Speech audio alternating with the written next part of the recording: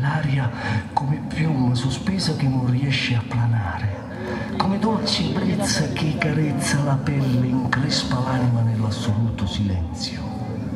È un istante, corre con le ali spiegate, poi di colpo appoggiato sull'aria volerà. Un momento ineffabile